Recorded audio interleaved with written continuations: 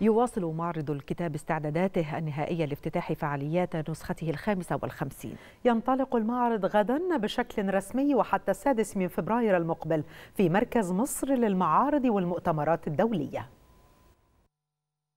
نصنع المعرفة ونصون الكلمة. شعار معرض الكتاب في نسخته الخامسة والخمسين هذا العام يأتي بسمة أثرية خالصة للحفاظ على الهوية المصرية. فترى الجميع هنا على قدم وساق يستعدون للانطلاق. معرض الكتاب دوت يعني كان حلم للواحد وهو صغير.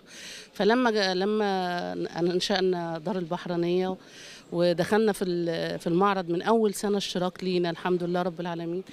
بنلاقي إن هو ده يعني احتفالية جامدة قوي وخاصة معرض القاهرة الدولي للكتاب. بنشارك في مجموعة كبيرة جدا من الكتب والإصدارات أهمها طبعا الروايات والمجموعات القصصية الدواوين الشعرية مجموعة كبيرة جدا جدا من النتاج الأدبي نتيجة حصيلة سنة كاملة من الجهد الذهني اللي بيستغرق من الكاتب. وقت طويل جدا بينتظر معرض الكتاب علشان يبقى سعيد بالنتاج الأدبي بتاعه. تم اختيار دكتور سليم حسن هذا العام شخصية المعرض لما يمثله من قيمة تاريخية أثرية مصرية وهو ما يرتبط بشكل مباشر بالثقافة والقراءة واختيار الكتب بالمعرض. بنستعد طبعا بالكتب الجديدة. أنا مستعد لكتب الشباب. عندي كتب رائعة في التنمية البشرية في كتب في التربية.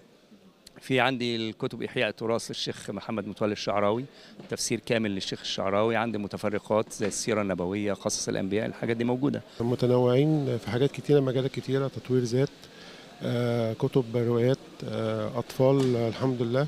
وأكترتها بتبقى كتب مترجمة والكتب دي أصلا الترجمة بتاعتها بتفيد الأطفال أكتر في المعرفة بنحاول إن إحنا ننمي عقل الطفل مش بنعمل قصة كتب الطفل بس عادي. إنما لا بيبقى كمان بنحاول إن إحنا نتواصل معاه في كذا حاجة إن هو تنمية عقل وتتنوع المعروضات هذا العام من كتب تاريخية ودينية وأجنبية ومترجمة بالإضافة لفعاليات المعرض التي تعود عليها رواده من مسرح ورسم وفنون مختلفة.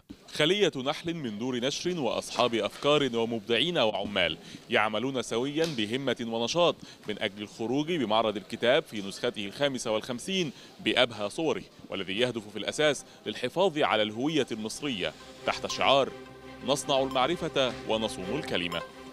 كريم بيبرس التلفزيون المصري.